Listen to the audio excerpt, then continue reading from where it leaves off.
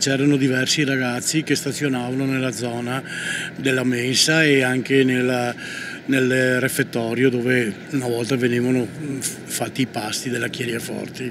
Da prima eh, c'era gente che entrava con dei furgoni perché si vedevano i furgoni ancora un anno, un anno, un anno e mezzo fa, due anni, che portavano via di tutto e di più e questo era, era, risaputo. La denuncia di questo residente di Silea su come l'ex upificio fosse occupato da sbandati o comunque abusivi e teppisti, il cui via vai era cosa nota da tempo a molti cittadini. Io li vedevo tutti i pomeriggi che girovano, sì, che uscivano, entravano dal, dalle, si, si può dire, abitazioni dall'altra parte della restera. Amarezza, rabbia e sconforto anche da parte di chi in quell'edificio ha riposto ricordi e pezzettini della propria storia di vita. Questo stabile ha dato lavoro a tutta Silea, si può dire.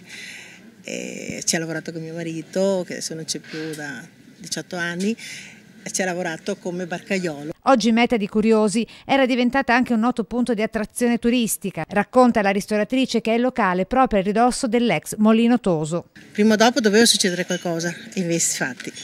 Io questo me lo chiedevo sempre, sai,